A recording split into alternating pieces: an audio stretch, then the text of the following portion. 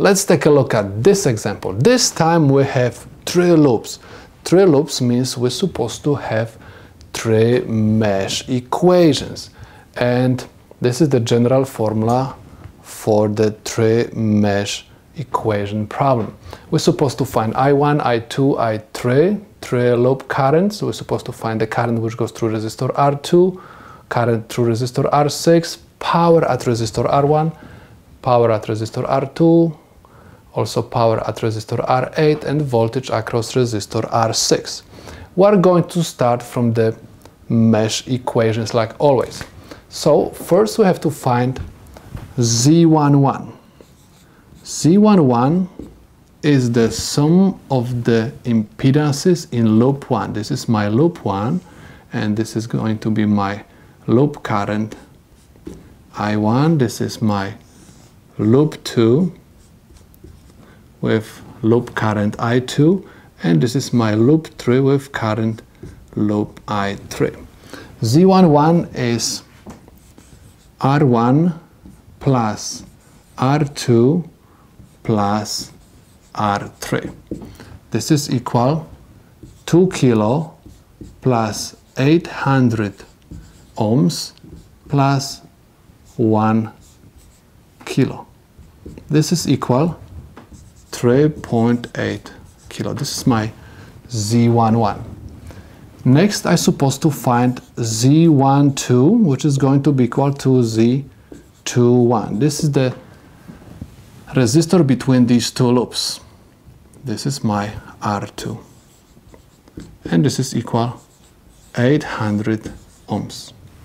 Next, I have to find Z22. Z22 is the sum of the impedances, in this case resistances, in loop 2. That's why I'm going to have R2 plus R4 plus R5 plus R6. This is equal 800 ohms plus 1.2 kilo plus 2.2 kilo plus 750 ohms. Z22 is equal 4.95 kiloohms. Next, we're supposed to find Z23, which is going to be equal to Z32. Z23 is the resistance between loop 2 and loop 3. This is equal R6 and this is 750 ohms. Next I'm supposed to find Z3 3. This is the sum of all impedances, in this case all resistances in loop 3. So I have R6 plus R7 plus R8 and this is equal 750 ohms plus 1.2 kilo plus 1 kilo. Z33 is equal 2.95 kilo. Next, I'm supposed to find the sum of the voltages in each loop. Now, keep in mind that the short bar represents negative terminal and the longer one is representing positive terminal. We assume that current goes from positive terminal to negative. So I'm going to draw the current, which is going to be pushed by this voltage source and also I have positive terminal over here and negative over here. This voltage source is going to push the current up. Keep in mind that we are using conventional current flow. That's why I say that the current flows from positive terminal to negative. Now, you're supposed to look at the directions of the currents. I1 is my reference current. If I'm going to look at the current which is pushed by this voltage source, this current is going down and my I1 goes up, so they're going to oppose each other. That's why I'm going to write that the sum of the voltages in loop 1 is equal negative V1. Negative V1 because these two currents are opposing each other.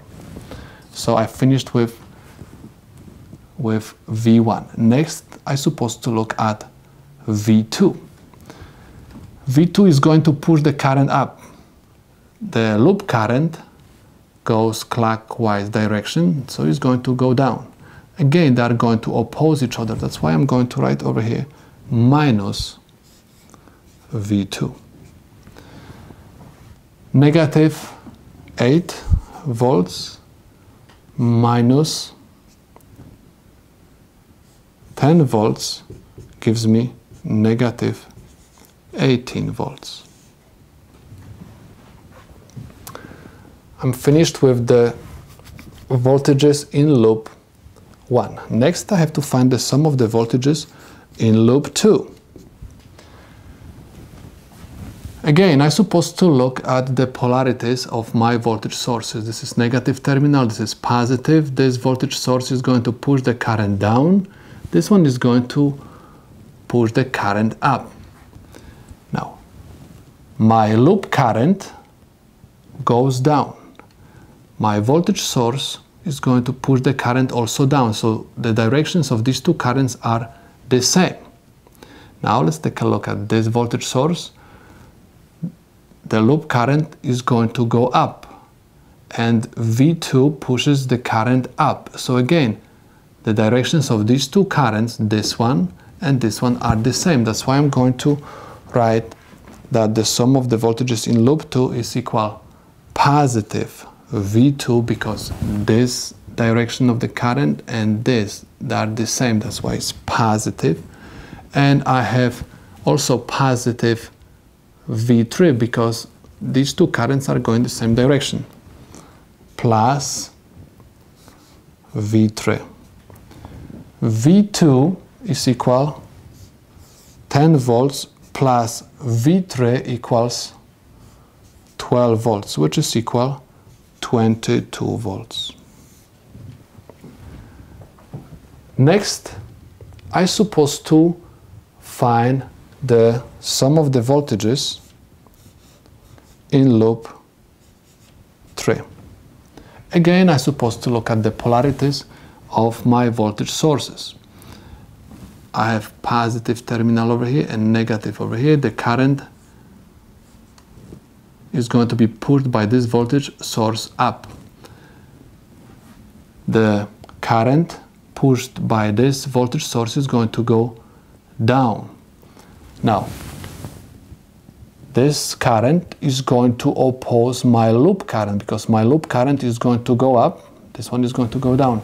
That's why I'm going to write over here minus V3 and these two currents are going to oppose to each other. That's why I'm going to write negative V4. And this is equal negative 12 volts minus 4.5 volts, which is equal negative 16.5 volts. Now we are ready to write the mesh equations. I'm going to look at the formula and I have in the formula I1 times Z11. We found Z11 and this is equal 3.8 kilo minus I2 and I have Z12 equals 800 ohms minus I3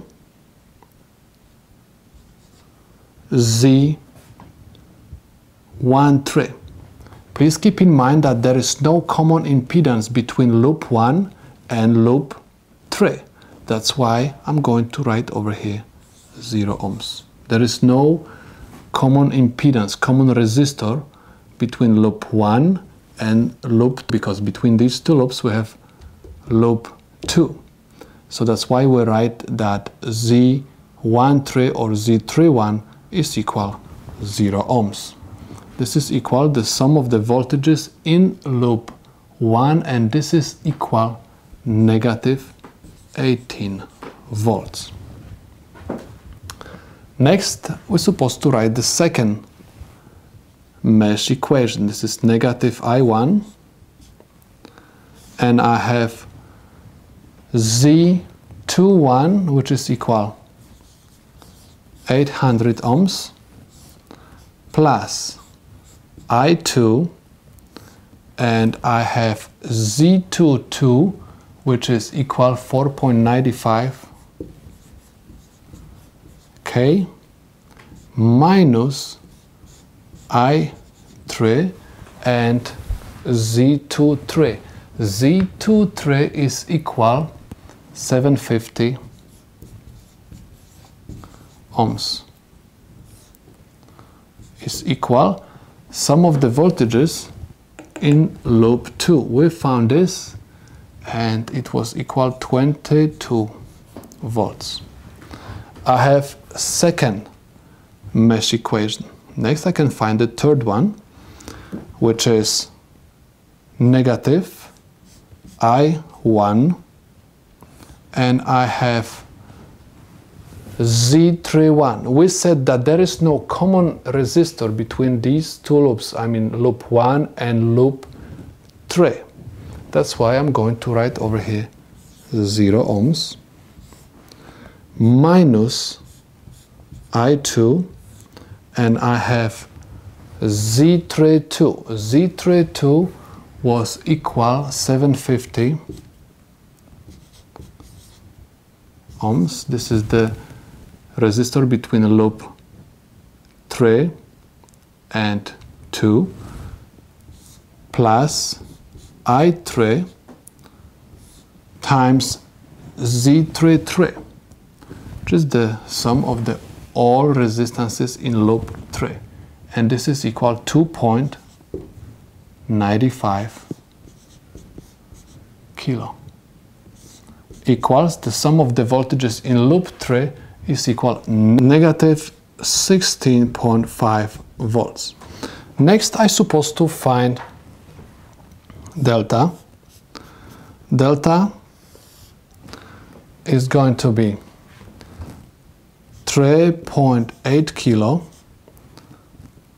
negative 800 ohms. I'm simply capping down these columns into the determinant and I have 0.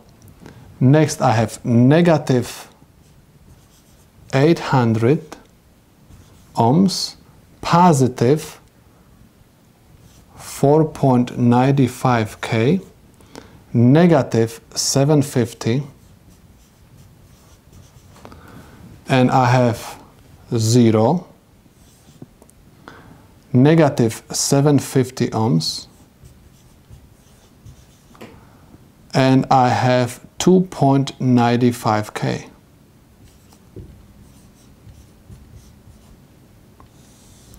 I assume that all of you know determinants and you're supposed to get the answer 51.46 giga ohm squared. This is your delta.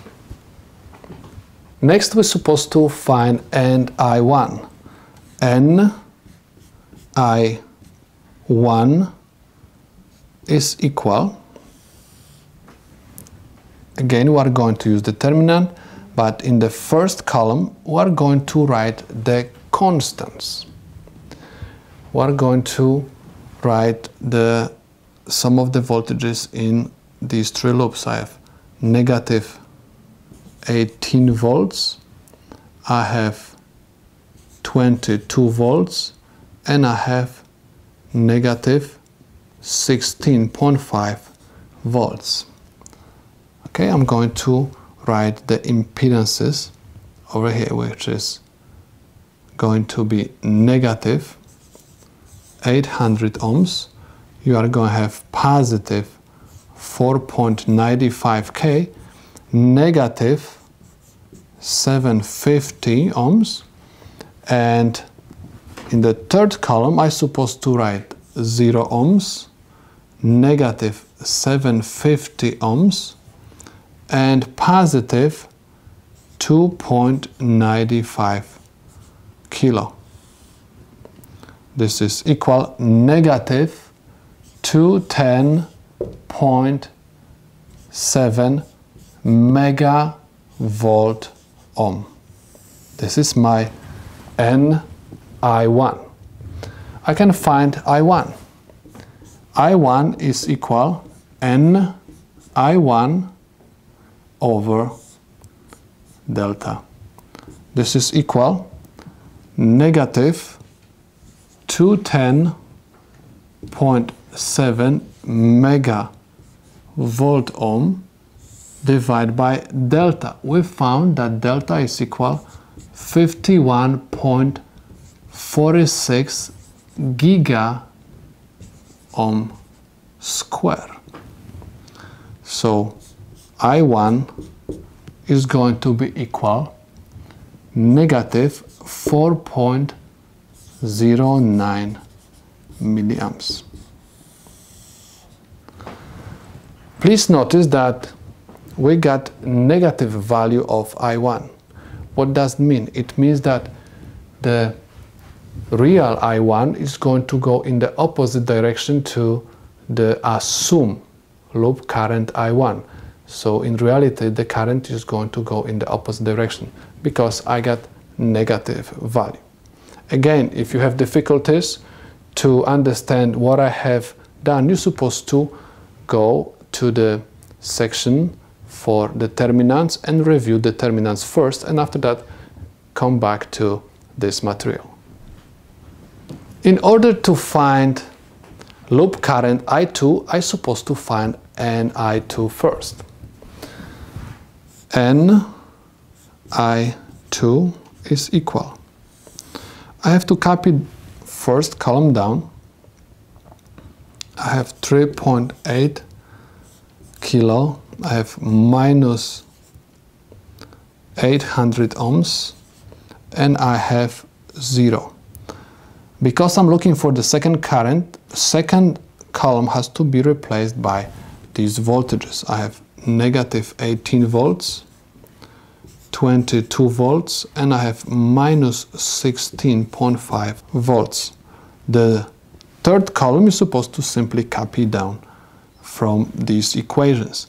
I have 0, negative 750 ohms and I have 2.95 kilo.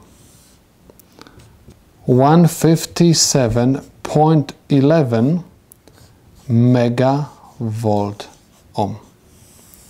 This is the value of my Ni2. If I have Ni2 and delta, I can find I2. I2 is equal N I2 divided by delta. Ni2 is equal 157.11 157.11 megavolt ohm over delta and delta is 51.46 giga ohm square. Ohm and square will cancel out. Volt divided by ohm is amp. I2 is equal 3.05 milliamps. This is my current I2, 3.01 milliamp is positive. Is positive, it means that it is going to go in the same direction like I assumed at the beginning. Now we are going to look for current loop I3. We have to find Ni3. I have to copy down the first column from my mesh equations. I have 3.8 kilo minus 800 ohms and I have 0 ohms. I have to copy the, the second column. I have negative 800 ohms, 4.95 kilo, and I have minus 750 ohms. And in the third column, I'm supposed to write the values of the voltages. I have negative 18 volts, 22 volts, minus 16.5 volts. This is going to be equal negative 247.9 megavolt ohm. This is the value of my Ni3. If you have Ni3, you can find current I3. I3 is equal Ni3 divided by delta. Ni3 is equal negative 247.9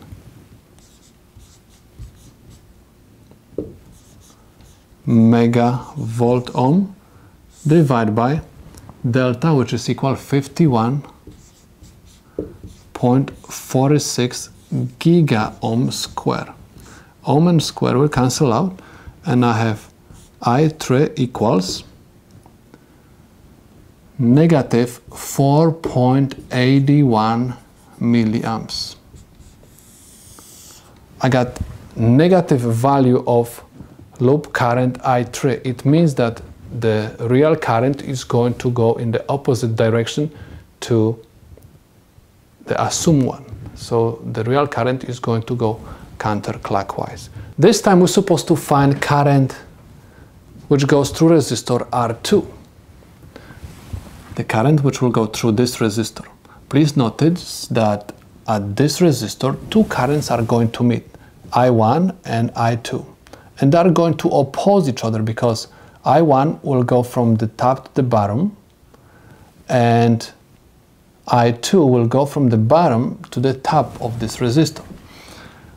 If they're going to oppose each other, I'm supposed to subtract them in order to find I R2. So I'm going to write IR2 equals I1 minus I2. I1 is equal negative 4.09 milliamps minus I2 3.05 milliamps. Well, equal negative 7.14 milliamps. This is the current which will go through resistor R2. Negative sign is telling me that the current is going to go from down up. Why? Because I1 is my reference current and if I get negative sign it means that I'm going to against my reference current. This is the current which goes through resistor R2. Next, we're supposed to find the current which goes through resistor R6, IR6, equals, again, at this resistor, two currents are going to meet, I2 and I3 they are going to oppose each other.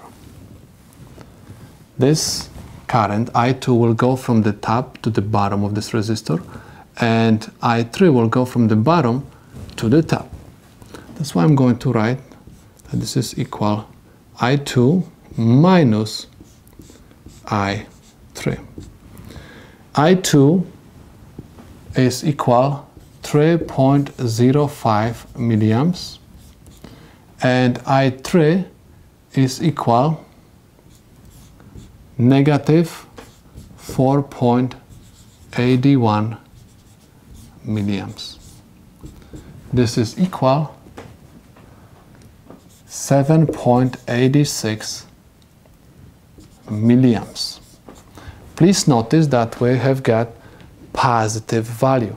In this case, the reference current is I2.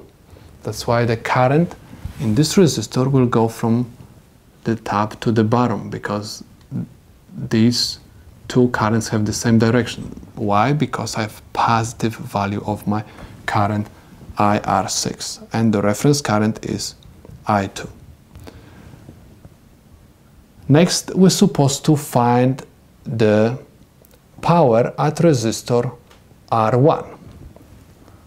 P R1 power at this resistor.